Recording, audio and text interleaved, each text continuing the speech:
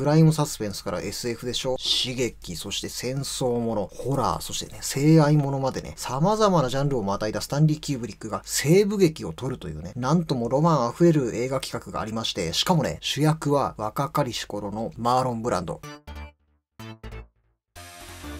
でね、脚本を書いたのが、藁の犬とか、ワイルドバンチとか、戦争のはらわたのサム・ペキンパーも噛んでいたというね。で、その作品がスタンリー・キューブリックのスパルタカスですね。スパルタカスが公開された翌年、片目のジャックという映画になったというお話についてお送りしたいなと思います。今回もね、スタンリー・キューブリック関連を年代順に追うという連続企画の第5弾なんですけども、初めてとなります、あの、スタンリー・キューブリックのフィルモグラフィーには載っていない関連作品をね、取り扱ってみようという試みですね。このね、連続企画はですね、関連作品もね、バシバシ巻き込みまして、いつになったら最後アイズワイドシャットにたどり着くんだと。むしろね、アイズワイドシャット以以降のね、関連作品も巻き込むつもりですからね、マジで終わるのはね、数ヶ月後というね、あの、なので、せっかくなんでこの機会に順番にね、時系列に見ていって、すべてのスタンリー・キューブリック作品をコンプリートしていただければなと、まあそんな願いでやっていきたいなと思います。ということで、今回のお題はですね、前回のスパルタカスの次ということで、西部劇、片目のジャックについてね、言ってみたいなと思います。これね、あの、キューブリックファンも案外というか、意外と知られていなかったり、まあ、スルーされることも多い作品なんですよね。結論を言いますと、いろんな経緯がありまして、監督と主演をマーロン・ブランドが務めて公開されたとという作品なんですけど、じゃあね、キューブリックが何をしたのかと、そのあたりをですね、少し紐解いてみたいなと思います。かなりね、想像以上にがっつり絡んでいるんですよ。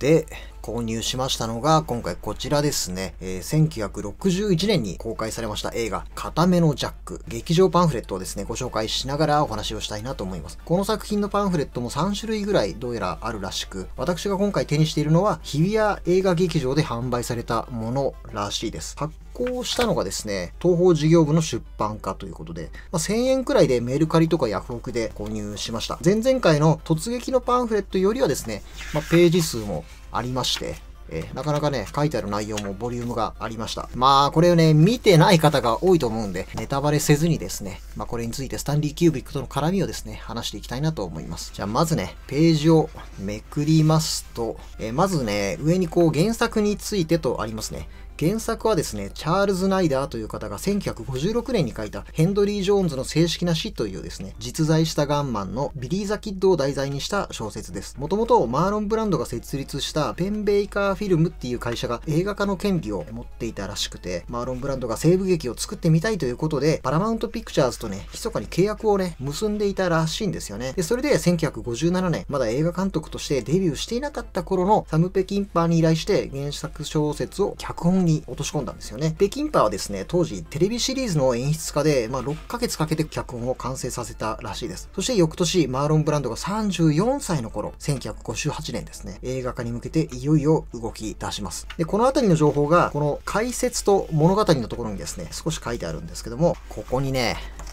ありますよね。見えますか？これ原作のね、タイトルちょっとこれ間違ってるみたいなんだけど、ここですね。監督を突撃、現生に体を張れのスタンリー・カブリックで行く予定だったところとありますね。まあ、ここですよ。まあ、今回ね、お話したいのはこの部分なんですけども、ぶっちゃけね、この記述を確認したいがためにこのパンフレットを購入したと言ってもね、過言ではありませんね。とにかくね、キューブリックが30歳になる年に、まあ出会った頃はですね、まだ29歳なんですけど、この映画界の二大巨頭がコラボレーションをしたということなんですよ。案外ですね、あの、意気投合したらしく、話もね、結構盛り上がったらしいんですよね。で、西部劇の他にもね、いろんな構想がありまして、ボクシングを題材にした作品を作ってみないかとかね、まあそれくらいね、熱い交わりが続いていたということなんですよ。で、話をね、戻しますとですね、当時のキューブリックは現生に体を張れの頃からタッグを組んでいたプロデューサーのジェームス・ B・ ハリスと会社を設立していたんですけども、このマーロン・ブランドが6ヶ月間契約を結んでくれまして、キューブリックが監督することを前提として脚本の手直しをさせるってことで雇ったんですよ。で、もちろんですね、マーロン・ブランドは元の脚本を書いているサム・ペキンパーにもちゃんと電話でそのことを報告して、ペキンパーもですね、当時のその新鋭のスタンリー・キューブリックという名前を聞いて、あの、喜んでいたらしいですね。それで数週間、映画化に向けて台本作りが進み出したんですけども、キューブリックがですね、前作突撃の脚本で組んだ、あの、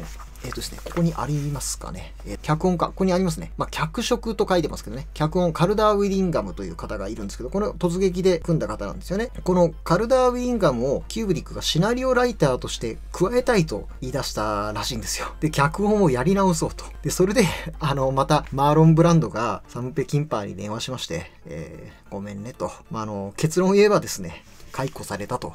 いうことなんですけど、エピソードとして残ってるのは、ペキンパーはめちゃくちゃショックを受けて落ち込んでいたらしいです。あのまあ一応だかマーロン・ブランドがいろいろね、フォローしたらしいんだけど、ペキンパーもまあ映画監督を志していた時期だったから、なおのこと、このメンバーから外された、解雇されたっていうことがね、すごくショックで落ち込んでいたと。けど、ペキンパーで言いますと、片目のジャックが公開された1961年、同じ年にですね、実は荒野のガンマンで映画監督デビューを果たしてまして、まあその後西部劇では数々の名作を残したというですね、でもっと言えばですね、1973年にビリー・ザ・キッド21歳の生涯という作品も残しておりまして、ビリー・ザ・キッドを主題とする映画を、まあ、極めることができたっていうですね、これはこれでまたドラマティックな話ですね。でね、あの、片目のジャックには、キューブリックが提案したカルダー・ウィリンガムさんが脚本家として迎え入れられまして、えー、シナリオの準備が進んだということなんですけど。で、最終的にはですね、また新しくガイ・トロスパーという方をシナリオライターとして招き入れましてですね、企画名もついに片目のジャック、ワンアイズジャックというタイトルに決まり、クランクインを迎えようというところに至ったということなんですけども、でね、またこの裏でですね、キューブリックとプロデューサーのジェームズ・ B・ ハリス、この2人にある企てが浮上してきたんですよ。これ何かというと、ロリータなんですよね。ロリータの映画化を目論み始めまして、その映画化の権利を取ろうということで、えー、精力的に動き始めたらしいんですよね。もちろんね、片目のジャックのシナリオも練り続けていたんですけど、結局、そのマーロン・ブランドにも、最終的には、このロリータの映画化に専念するためということで、5月から11月半年間ですね、契約を結んでいたスタンリー・キューブリックは、解雇というか、解任というか、この片目のジャックというプロジェクトを離れたということなんですよね。まあ、ちなみに契約をですね、解除する前にキューブリックがこの作品のシナリオが進むにつれて、クランクインが近づくにつれて、映画の内容がさっぱりわからないってね、なんか言い始めたらしいんですよね。そしてね、キャスティングのことでも、マーロン・ブランドとキューブリックの中で、まあ、意見が対立したというか、キャスティングってまあ好みの問題ですから、なかなかね、一筋縄にいかない部分だと思うんですけども、もっと言うならば、マーロン・ブランドはね、この企画を進める上で、パラマウント・ピクチャーズと密かに契約を結んでいたわけで、しかも俳優仲間にあなた出てくれって実は先に言ってたらしいんですよね。まあそういういろんなしがらみとかも含めて、若干キューブリックとキャスティングで対立したということもあったらしいんですけども、まあそうこういろいろありまして、とにかくキューブリックはロリータを作れということで、固めのジャックから外れたと。いうことなんですよね。ちなみに、その撮影開始が迫ったマーロン・ブランドはかなりまあ行き詰まった状態で、監督を誰にするかっていうことで悩んだそうなんですよね。結局その欲望という名の電車とか鳩場で組んだエリア火山とかですね、12人の行かれる男とか、狼たちの午後とかね、シドニー・ルメットっていう監督がいるんですけど、2人の監督にもね、演出を打診したそうなんですが、断られてしまい、まあ、予算もスケジュールももうそろそろまずいぞということで、マーロン・ブランド自らがメガホン取ろうじゃないかと、主演、監督、マーロン・ブランドという作品が実現したということなんですよね。とにかくね、キューブリックに関する記述は、本当さっき見せたここだけでした。あとはね、コラムだとか、配役について誰が出てますよとかそういう情報がね。まあ、ただページ数だったり写真とかもね、なかなか充実してますよね。ね、若いね、マーロン・ブランドがね。これが後にね、ゴッドファーザーになる方ですよ。じゃあ、キューブリックの残骸がね、この作品たくさんあるはずなんですよ。私個人的に言うと、あ、これキューブリック結構噛んでるなっていうような色合いを感じるシーンがね、いくつかあったり、演出だったり、まあ撮り方だったりね。特に冒頭のワンカット目とかってめちゃくちゃ僕は個人的にスタンリー・キューブリックっぽいなと思いました。めちゃくちゃかっこいいんですよ。冒頭のワンカット目。まあ、その辺はね、もうネタバレいろいろあんま言いたくないんで、ぜひ見ていただきたいなって思います。ただ、話の内容はですね、マジでこれ、本当に変な話。この片目のジャックっていう作品は、痛快なヒーローが出るわけでもなく、クリント・イーストウッドの映画のようなアンチヒーローとか、まあダークヒーローのようなものが出るわけでもなく、ほんとね、変な話。すごく変な話です。これをキューブリックが撮ったら、シナリオも練り上げて撮ったら、西部劇でも金字塔をね、作っていたかもしれないと思うと、めちゃくちゃ見たくないですか？しかもですよ、もう一個言いたいのが、これキャストがまた熱いんですよ。ここにありますね、ティモシー・ケリーとありますけど、あの、今はね、ティモシー・キャリーと書かれる方ですよね。前回、前々回でもご紹介した、あの、現金に体を張れの狙撃手役のニッキーを演じました。そして突撃でもですね、兵隊役を演じたティモシー・キャリーも出ていると。